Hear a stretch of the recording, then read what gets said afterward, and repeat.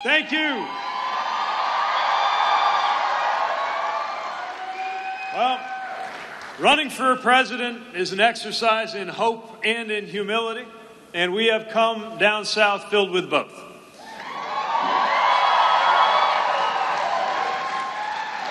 We have come here asking for your vote, humbled by the knowledge that for so many, that vote was won through struggle, through blood, through sweat, through tears, and for some, within living memory.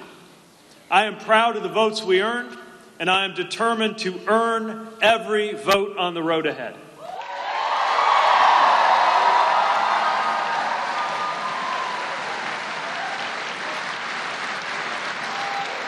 I want to salute all of our competitors, and I congratulate Vice President on his victory tonight in South Carolina.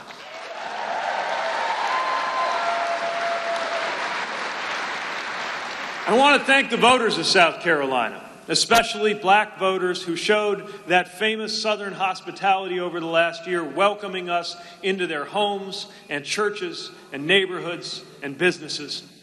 I want to thank our entire team, every supporter of this effort, and yes, everyone who has gone to PeteForAmerica.com to help us come up with that $13 million that's going to power us for the next step.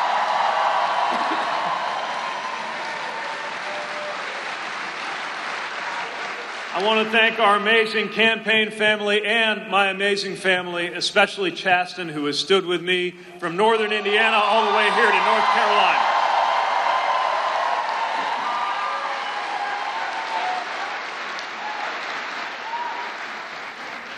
At this moment, as a mounting epidemic threatens our communities and our economy, we are seeing just how much it's going to matter to have serious judgment and a steady temperament in the Oval Office.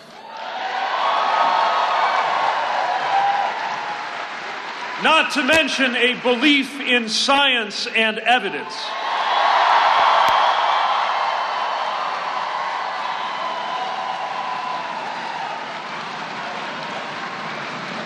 So, so more than ever, we know we cannot afford to get this wrong. We cannot afford four more years of Donald Trump in this country.